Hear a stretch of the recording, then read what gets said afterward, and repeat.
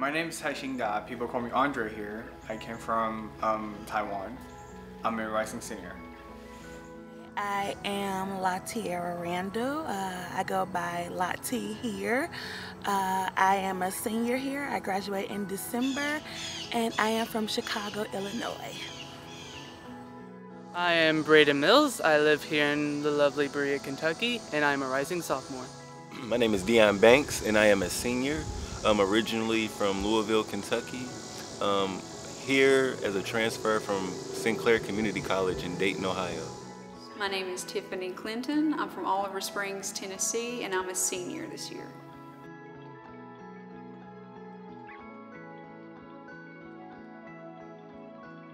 Finances are tight. Uh, my mother and father, uh, they are separated, they aren't together. So um, income from back home is definitely tight. Well, I'm not your traditional um, incoming student. Um, I started a little later in life, so I'm an independent student um, financially. Because I just had a brother who graduated from UK, so now that, now that I'm the only one going to college now, like my um, expected family contribution is higher than a, probably most of the student body on campus.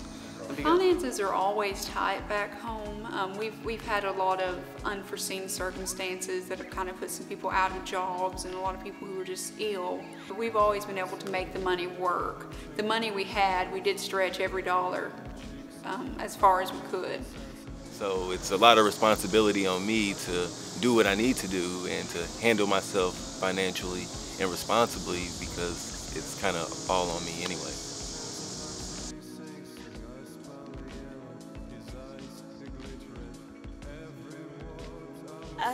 Well, I actually didn't know anything about Berea until my senior year of high school. Uh, I looked it up and I said this has to be a scam. Nothing in life is free. I was trying to find a college in the US to study when I was starting my country, but the tuition fee in a US university is really intimidating. So I really couldn't afford any other place. I've been working full time since high school. And uh, the fact that they did not charge tuition to students and the fact that you only paid what you could to come to Berea was really intriguing to me. So that's really what brought me here. I was pretty much prepared if I didn't get a scholarship at a different school or something for sports to take out loans and financial aid. So it was really good for me to come to Berea because, you know, it's tuition free. They really cut out all of those expenses and they take care of you as long as you uphold your academic responsibilities. So. I think I always knew it was my number one choice, mainly, mainly because I've been exposed to the college my whole life. The obvious free tuition scholarship.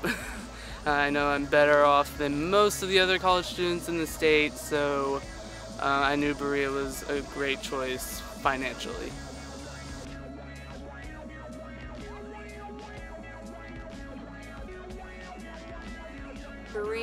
Is one of those places where you got everything provided for you and not a lot of the students have things like a credit card bill or an expensive phone bill um, and you really don't need all of those things to begin with.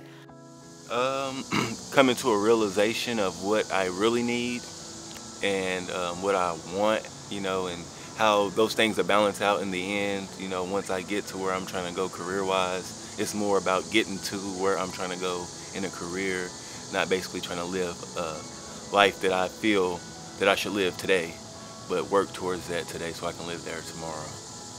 Well, in high school, my mom and dad definitely did everything for me, and I, I believe it's just because I was there, so I, I could harass them in their face about money. But now that I'm here, I, I call them, but when I call them, it's not for money.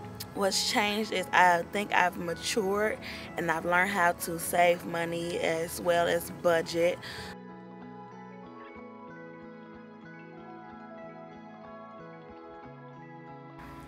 Financial security means I, I will have more than I expect to have in my own accounts. I think it's just knowing that you have money for what you need, just knowing that um, no matter what, you are going to be okay. I think of my livelihood, you know, what it takes for me to survive and to be able to take care of myself, which is important to my success here at Berea and beyond. Having, having a rainy day fund, definitely, because it's been my experience that you have more rainy days than sunny days when you don't have a fund left there. Um, and just knowing how to use the money in a way that you have everything you need, but you also have allow yourself a little bit of money to buy things you want. It's all about a balance, I think.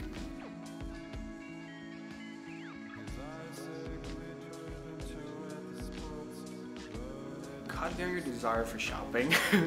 I know it's very um, luring to go on eBay or a lot of shopping websites and they will have like daily deals and everything. It's very appealing to just go on there and look at the price and you'll tell yourself that, you know, it's totally on sale, I can just buy them. And I will have my pay next month or next week. Basically, what you need comes first, then what you want. Definitely save up for the semester so that you can pay off those term bills for that uh, academic year and not have to worry about taking out a loan or getting the 40% taken out of your check because it'll all be paid for in the beginning. Well, definitely map out. Um, I divide my paycheck up into the four four weeks or three weeks until the next paycheck and see, okay, this is what I got to pay in bills. After that, this is about how much I have left, and divide it into a weekly basis. How much are you really going to need a week in order to function? I try to save everything I have. And I have things that may come up. I may get sick. You know, I might need medicine.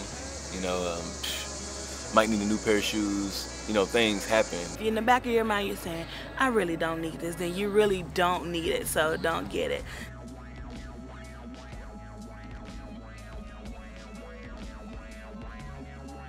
It's all about saving right now. I have my own savings account for my personal money. Well, I have, I have a bank account and I took, I only take so much cash out of per paycheck and I only spend the cash. This is my second summer in Berea. The first summer I worked, I I worked and took classes for two months, and I went back home for a month. I was still able to save a thousand. I've heard people say you don't have, you don't make that much money, and blah blah blah. But it's all about budgeting. Most definitely, that's what I've been doing the last four years. Some people say I it looks like I spend most of my money because I like to put on clothes and do this and do that, but it's all about budgeting. It's all about knowing where to shop or how much this thing is compared to where you can find it somewhere somewhere else cheaper or something similar. So I'm definitely a budgeter.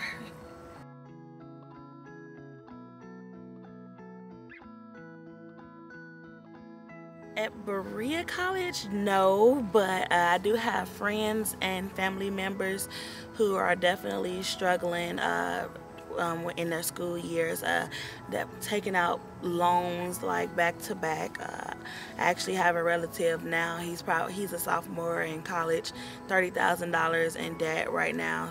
Well, actually, I actually went to a community college, but I did know at least two who had to drop out due to finances. And then I knew someone who had acquired so much debt, they really were just terrified when they graduate. They were saying, you know, I'm not going to make a penny or get to see any of my money because it's going toward federal loans and debt.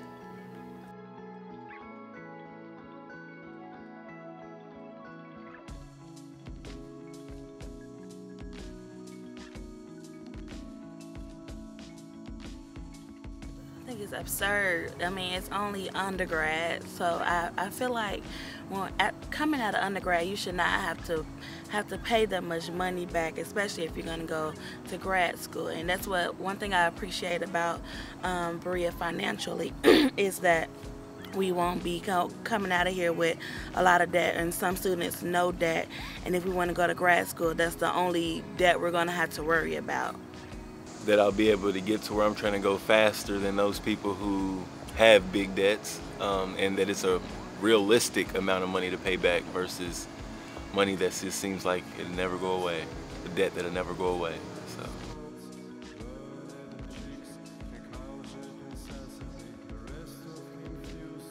Actually, I've been thinking about this since I came to Berea, but now so that the pressure is here because I am a senior and it's no, you know, it's do or die time. I'm just like, you know, these are things that I need to do in order to be successful. You know, I mean, I can want everything, but I need, you know, a suit. I need transportation. I need these things. So I want to be comfortable. I don't want to get out of here struggling. I want to transition smoothly, and if I'm having financial hardships, that will be nearly impossible. When I graduate, I don't want to move back in with my mom, so I want to find a job probably as soon as I graduate and move into my own apartment uh, when I go back home. So I'm definitely going to be saving up until, well, saving a lot.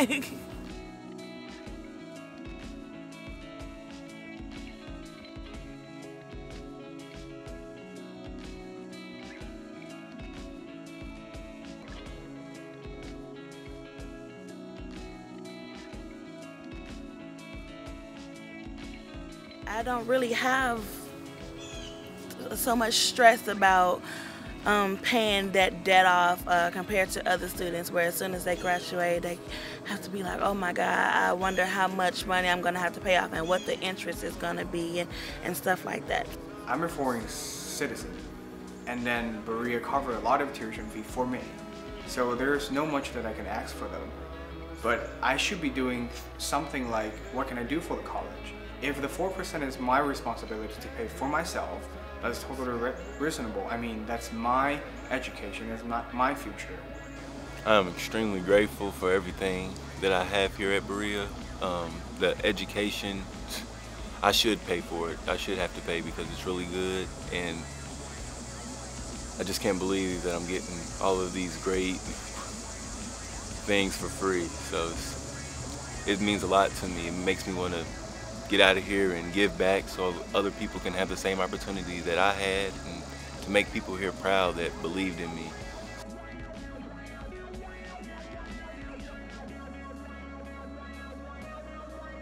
Well, my education, I'm going to graduate debt free. Uh, when I graduate, I will be $1,500 in debt. Between 18 to 20,000. I will be about $8,000 in debt when I walk across the stage of graduation. I can be very confident with you, I will graduate that free.